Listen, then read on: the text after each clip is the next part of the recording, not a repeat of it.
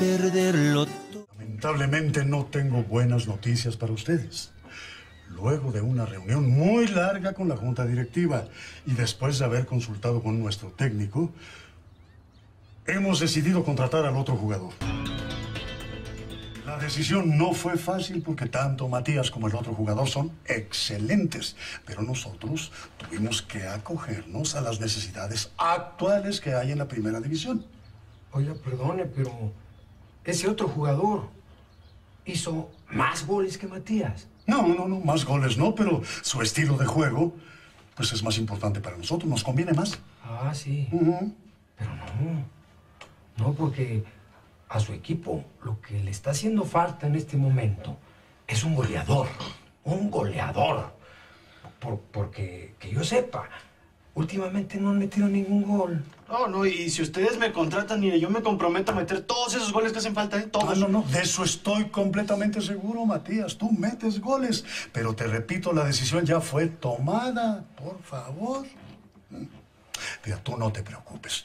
Tarde o temprano te van a llamar de otro equipo. ¿Por qué? Porque eres un magnífico jugador y además, por si no lo sabías, tienes excelentes recomendaciones, ¿eh?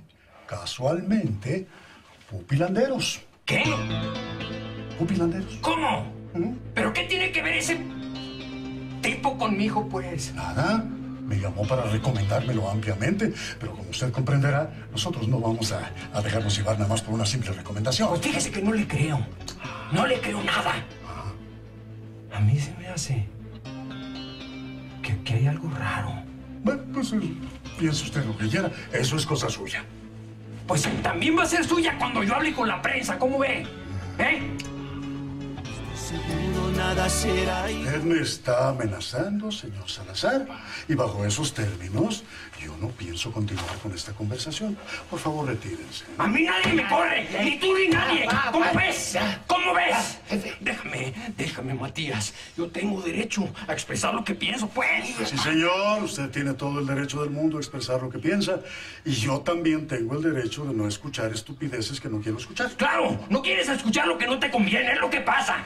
Ese es lo que pasa. Señor Salazar, no voy a discutir con usted. Juegue. Ya, suéltame, suéltame, pues. Vámonos, vámonos. Está bien, está bien, ya nos vamos, Matías. Ya nos vamos. ¿Y tú? Te vas a arrepentir de lo que no estás haciendo.